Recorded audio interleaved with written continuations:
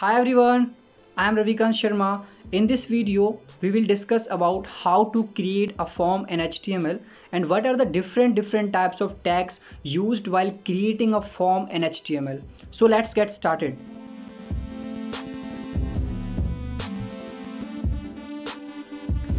An HTML form is used to collect the data or information from the user and that data is sent to the server for processing.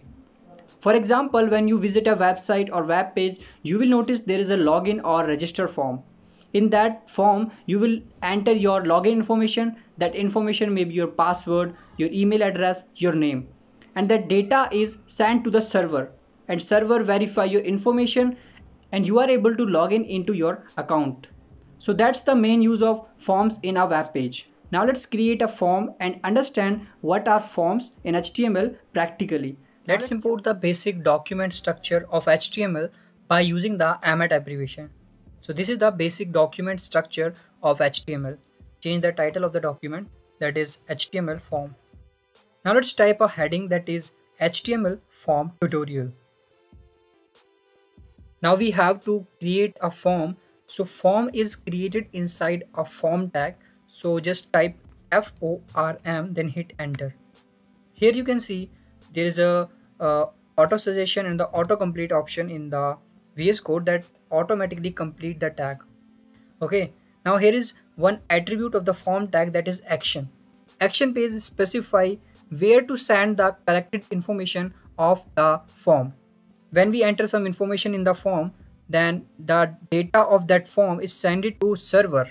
Let's say we'll type uh, server.php there is a php file that will store the data of that particular form. So now let's uh, create the form.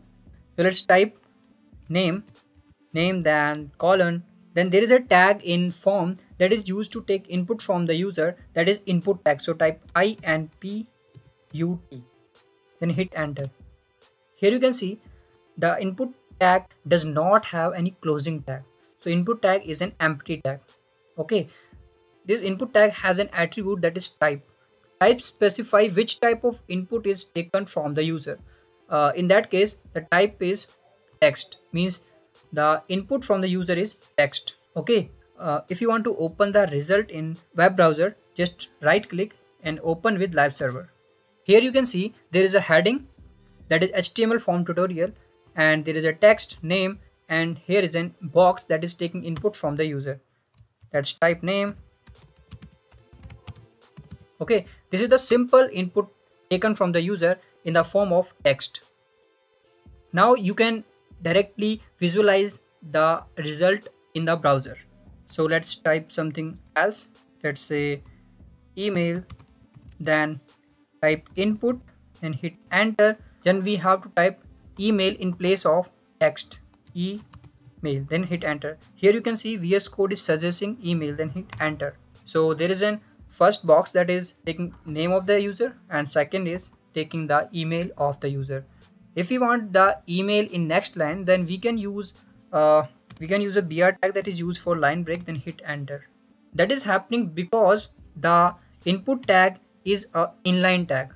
Input tag is an inline tag. So the so the result will not go to the next line automatically. So we have to use a br tag. Okay so this is a name and the email that is taken input from the user. So let's create another br tag. Now let's use a password. Just type input then hit enter. Change the type that is password. Okay uh, let's type in the password. Here you can see when when i type in the password box the data is not visible to the user. That means this is working correctly okay can i type the name that is visible easily? And the email is visible but the password is not visible because the password is a sensitive data. So these are the three tab uh, text email and password. Okay if you want more space between the name email and password then we can use another br tag and hit enter. Here also br tag okay if we want to directly jump into the next line uh, from this line then we can use control plus enter. Then we directly jump from current line to the next line. So these are the easy tricks in the vs code. Now let's input the number from the user. So let's type number hit enter number. Okay here you can see when i move the cursor over the uh, number shell upward and downward arrows. That means the number. Okay you can see the number are increasing and here you can decrease the number. So these are the four types of input we have used till now. And there are many other input tags that are used in form. So let's use that also. That br tag br tag then hit enter. One another type of input tag in form that is a radio button. Radio button is uh, used uh, as an example of multiple choice question. Uh, when we have four option we have to click on one option only. So let's try to uh, do that.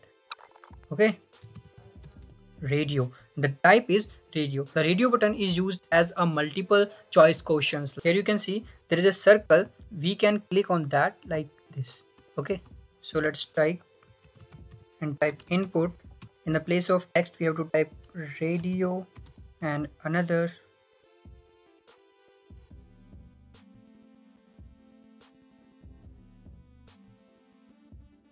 here you can see gender has a three option that is male female and others and there is an input tag that is radio in the front of all the options now let's try to click on the options let's say i click here and here and here now you can see I'm able to click on all the options but I don't want this because user will select only one option from uh, from the given inputs. So we can use a name attribute inside the input tag. So we have to type name, name, then let's say gender. The name property use as it is in three of the input tags, this, this and this. So type name.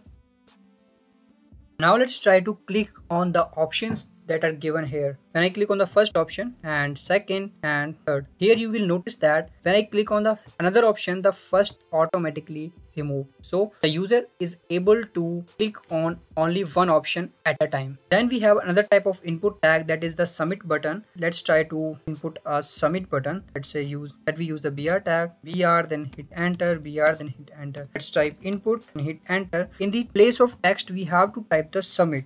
Here you can see there is a submit button. Whenever I click on the submit button, the collected data is sent to the server. Let's try to use that. Name, email, password, number, and mail. Now let's try to submit the data, then hit on the submit button. Here you can see there is an error here. Please include the at the rate in the email address. It means we have used the input type tag that is email so the form is not submitting. So we have to type the email format that is at the rate gmail.com okay now let's try to submit. Here you can see the data is submitted but it is not sent to the server because we are not connected any server. Here in the form tag there is an action attribute that specify the php page where the data is submitted. Here you can see the data is submitted here but we don't have any php page so data is not sent so this is the basic information of the HTML form. I hope you are able to understand. If you have any kind of doubt, you can ask me in the comment box. Okay friends, this is it for now. I will catch you up in the next one. Till then, keep learning, keep exploring.